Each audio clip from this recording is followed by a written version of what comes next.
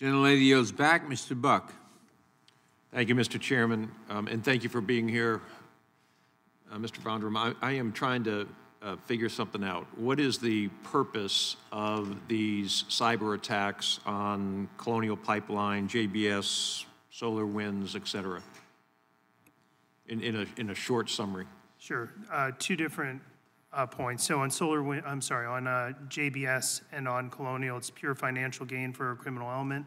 On SolarWinds, um, you know, the best answer I can provide you, it's obviously Russia state-backed activity to see what that software as a service and supply chain attack could get them access to that would be of interest to them. So perhaps U.S. government information where SolarWinds is a software platform uh, in any number one of the departments, uh, but it would be an access point so that they could exfiltrate or find information that's of interest to them. So uh, there have also been attacks, cyber attacks on OPM, on government agencies, um, gathering data about United States citizens and, and former government employees or uh, for other purposes. I assume that some of the cyber attacks on banks, um, other institutions, give the cyber attackers the ability to gain information about uh, U.S. citizens.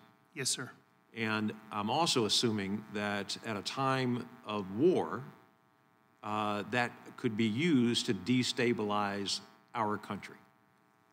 Certainly, that's one of the potential uses. Yes. And, and so we really have sort of two categories, if, if I'm not mistaken. And I appreciate Mr. Chabot's questions about how this money can be used to uh, further the enterprise. When Procter and Gamble makes toothpaste, they sell it, and they're going to be able to make more toothpaste. When these folks um, receive money, they're going to be able to invest um, in, in maybe more intricate equipment or, or more people and, and continue their activities. But there's also this national security implication where U.S. citizens are vulnerable as a result of all of these, not all of these, but some of these attacks.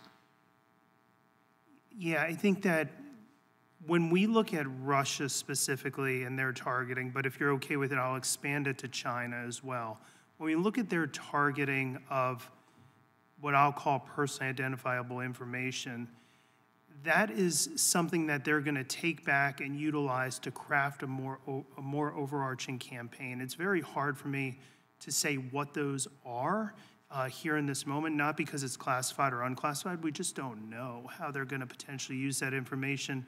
You know, I could come up with a use case in my mind that says perhaps the Chinese are using it in the criminal underground to uh, generate income off of U.S. PII, right? I mean, there's any number of use cases. So I think your terminology of destabilizing is absolutely fair, but it's very hard for me to be precise about exactly what they're going to do with that information. Well, here's, here's the issue, I guess. We, we know that uh, part of uh, a future war would be attacking the infrastructure of another country. And so if Russia had the capability to shut down our electric grid, um, or our airports or whatever it is, our banking system, um, they, they, if, if, there was in fact a war, worse, and um, obviously we all pray there never is such a thing, but if there was, um, that could be. But it could also be to uh, make sure that uh, Thomas Massie, for example, wouldn't have access to his bank account. There's a lot of money in that bank account, I understand, and so uh, if, there is uh, that um, type of, uh, and what I'm wondering is, is there that type of individual capability to uh, not just take out an infrastructure system, but also um, affect individuals, whether they're in leadership positions in this country or not? Yeah, so we have seen leadership individuals targeted precisely, right? We have seen the primary, you know, you can name them Russia, China, Iran, North Korea take precision action to compromise an email account, to compromise primarily an email account as I'm working through it in my head of all people that we all know the names of in this country.